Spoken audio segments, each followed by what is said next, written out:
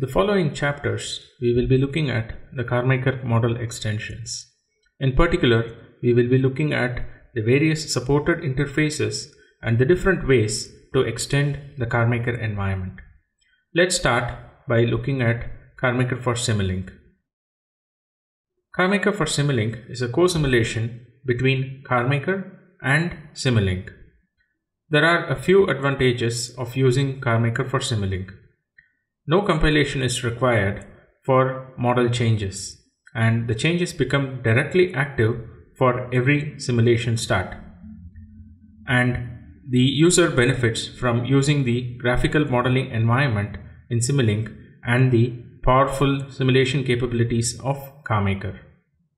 There are, however, a few drawbacks with this approach of using CarMaker for Simulink. The main drawback is the loss in performance due to the computationally intensive nature of this co-simulation.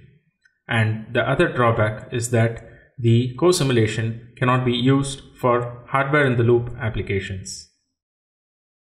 Now, let us look at how to get started with CarMaker for Simulink. The first step to get started working with CarMaker for Simulink is to open a suitable MATLAB version. You can find more information about compatible MATLAB versions in the CarMaker release notes. Once you have navigated into your CarMaker project folder, you will find a source underscore CarMaker for Simulink subfolder. Navigate into the folder and run the CarMaker environment script as the first step. This ensures that all the CarMaker installation paths and dependencies necessary for working with CarMaker for are added. After executing the CarMaker environment script, you can now start working with CarMaker for by opening the generic.mdl. The generic.mdl is a template model which is provided in every CarMaker project folder. Once you have opened the generic.mdl model, you will note that it contains three main blocks. The block on the left allows you to edit the model configuration, for example, to provide special command line options to the CarMaker's virtual vehicle environment. The block in the center contains the various CarMaker subsystem blocks. The block in the right allows you to open the CarMaker for Simulink GUI. Double click on the block on the right to open the CarMaker for Simulink GUI. Note how the CarMaker for Simulink GUI looks quite the same compared to the regular CarMaker GUI. You can use the familiar options like starting IPG movie, IPG control and instruments. Let me start IPG movie for example. You can also start test run simulations by loading from examples or from your own project. Let me start the simulation of racetrack Hockenheim.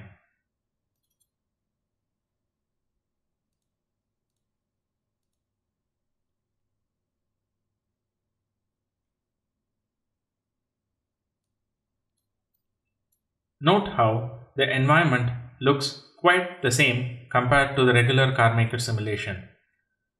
The important difference is however that CarMaker is a slave in this particular co-simulation and Simulink is the master of the co-simulation. And you can also observe how you see the time of the simulation being displayed at the bottom pane of the Simulink window. It is essential to note a few important properties of the CarMaker block in the CarMaker for Simulink environment.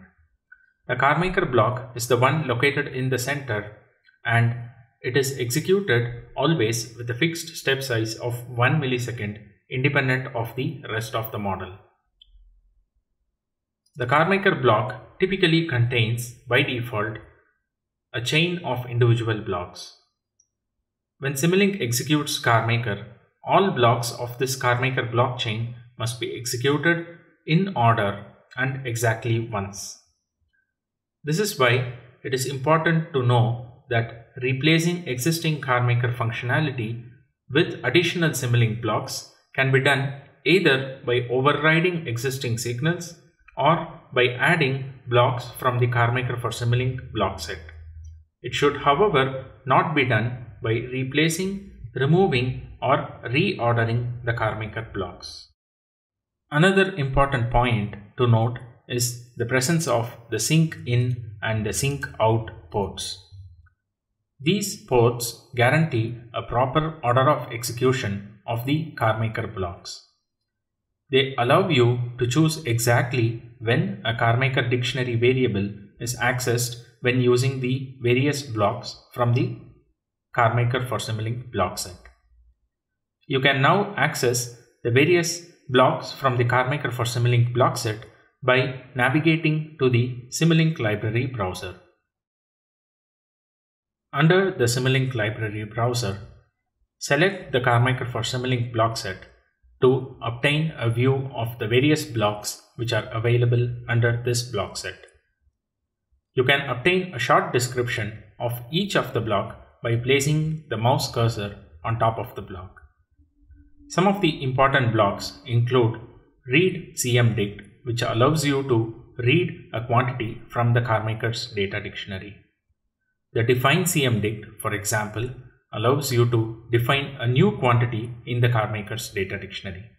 This also allows you to define a quantity with a certain data type and unit.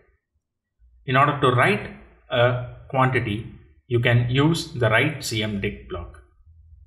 Make sure to note that not all quantities in the CarMaker's data dictionary can be overwritten. You can also access the parameters of the CarMaker's info file in the Simulink environment and this can be done by using the read cm parameter block. Let me now demonstrate with the help of a quick example how you can include your own algorithm and blocks into the CarMaker for Simulink environment. If you would like to implement a simple driver assistance algorithm, for example, you can choose the vehicle control block. Inside the vehicle control block, you have access to the signals which are used for controlling the vehicle. This includes, for example, the gas, the steering angle, steering angular velocity, and so on. In this case, I am interested to implement an algorithm which automatically activates the turn indicators depending on the steering wheel angle. By using a simple algorithm of comparing the steering wheel angle with the threshold, the left or the right turn indicator is activated. Make sure to terminate the internal indicator signals which are available in CarMaker. Let's now look at the outcome of the simulation.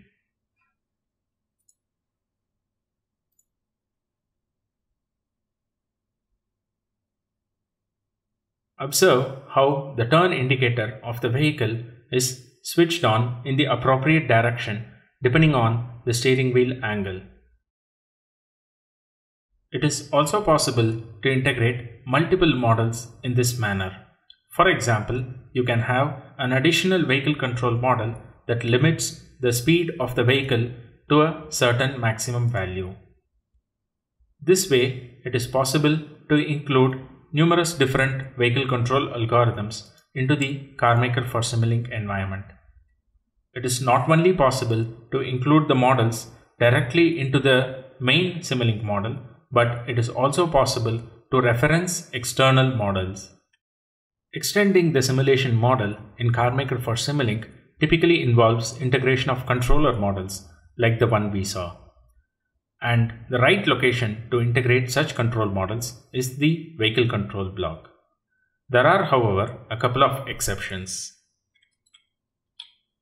If you would like to integrate a brake control unit, you can use the template hydraulic brake control unit ESP model which is available in the CarMaker installation. This allows you to integrate your own ABS or ESP models. The other exception is if you would like to integrate a powertrain related control unit. In this case, you can use the pt control.mdl. There are also a few important guidelines regarding replacing CarMaker models. Never delete one of the CarMaker blocks, just terminate the output.